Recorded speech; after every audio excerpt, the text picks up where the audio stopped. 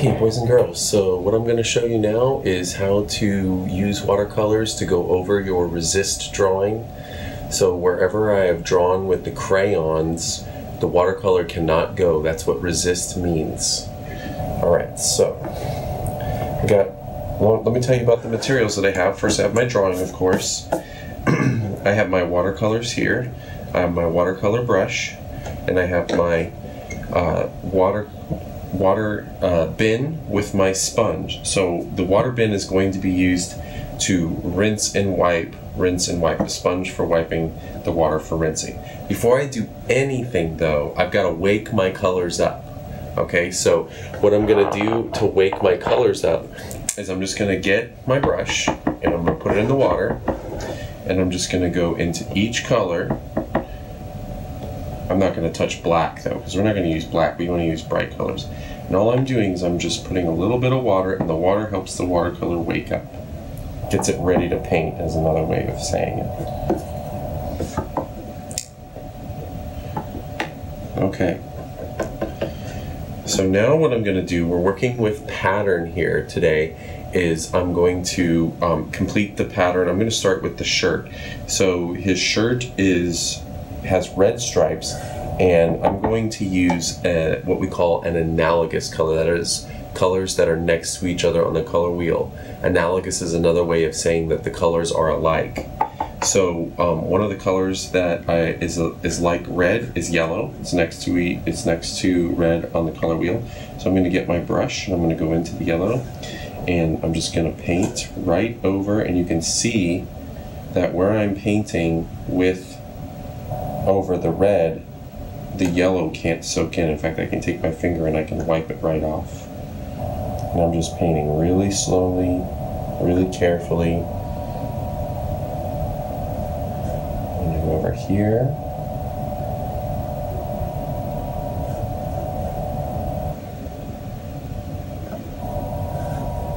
and I can go right over that red. I don't even have to worry about being that neat with this. Of course, I don't want to go out of my lines of the shirt. I only want the shirt to have the yellow.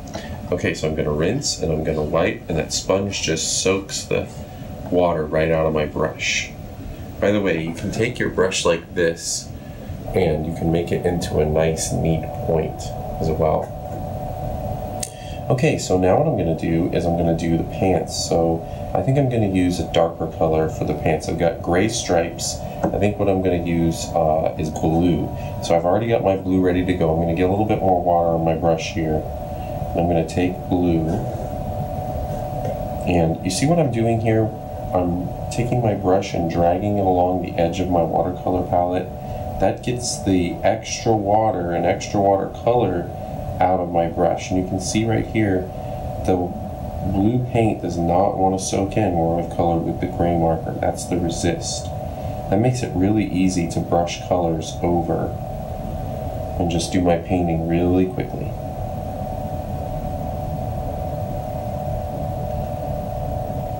A little bit of blue might get into the cracks in between the gray where I didn't color in so well, but that's actually something that's kind of good that I want and I'll give my give my uh, scarecrow's color a little bit of character. So rinse and wipe. If a little bit of color gets on the sponge, that's okay. We want it to we want our brush to be clean, so Alright, and I'm just gonna take my brush and reshape it with my fingers like this. Alright, so now what I'm gonna do is I'm gonna start working on the background. So um, the background sky, I'm going to make a light wash of blue. So what I'm going to do is I'm going to take a bunch of blue from and I'm going to put it in my mixing tray. The top of my lid of my watercolor acts as a mixing tray. And then to make a wash, that means a color mixed with lots of water so that I can just wash the paper down. And I'm going to be very careful to not cover up my sun because I want to do that a bright color, maybe orange or yellow, something like that. And I want my sky, it's, we're going to say it's daytime here, I want my sky to be a nice light blue. I don't want it to be a dark blue.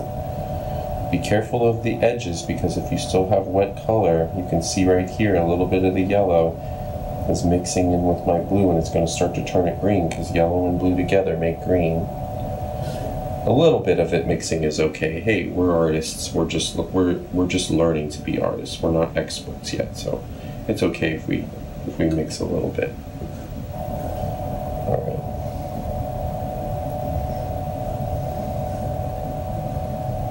And hey, it's a painting. So if the paint mixes a little bit, no big deal. We do want to take our time and try to be as neat as we can. Notice how I'm painting. I'm painting very slowly, uh, sort of like we learned with the markers. I paint mostly in one direction. And one of the things that you need to be careful about is to not make your paint, your paper, too wet. If you get too much water in your paper, you will paint a hole straight through your paper, and you don't want that, boys and girls. You do not want that. Now, I didn't do this on my painting, but a little trick that you could do, maybe for the next painting, is I could have taken a white crayon and drawn some little clouds back there. And they would have shown up, even though when I was drawing with the white crayon, they wouldn't have shown up. Alright. But painting with it a white crayon and painting watercolor over it, it would show up. All right, so what I'm gonna do is I'm gonna mix a custom color here. So I've got this blue left here in my mixing tray, and I'm gonna take a little bit of green. I wanna make sort of like a blue-green for the fields. So I'm gonna leave that little bit of blue, and then I'm gonna add some green to it, and lots of water, so I make a nice green wash. And I'm just gonna lay that down. Now we've got some really beautiful blue-green color here in the background that we can use. And I'm just going nice and slow, washing it down, being very careful. A little bit of my green moved over into my blue, but you know what? It's only a little bit, so it's not that big of a deal. It's not that big of a deal. And when my painting dries, I can always go back over areas and repaint them Boys and girls, it's really important when you're painting that you're very careful to make sure that you clean your brush after you switch colors and that you try to never mix these colors together. Please don't ever take your brush and just go into each and every color and mix them all around because you know what? You ruin the you ruin the colors when you do that and then uh, you waste it and then we don't have colors to mix with. Alright, I'm going to use a really bright green straight from my palette for the bottom here. And I'm just going to do a bright, bright green. Now after this painting dries, we're going to be able to go over it and add some details. So after the painting dries, I'm going to be able to add more layers of watercolor detail on top of what I've already painted. So I just this is just the first layer of paint artists painted layers, which means stacking colors on top of each other. And the more they layer, the more detail they can add, and the more color and the more differences in color, which is what makes color more interesting when you have colors that are alike, but they're just a little bit different next to each other. All right, now I gotta do the sun. So I think what I'm gonna do is I'm going to make a custom color for the sun. I'm going to take yellow. Now yellow is the color that gets dirtiest the easiest. So you want to make sure you wash your brush really well every time that you get to go in and use yellow because yellow gets dirty super easy. Alright, so I've got this really beautiful orange wash and I'm just going to paint in my sun with this yellowy orange. Alright, and that's it, boys and girls. We'll add more layers later.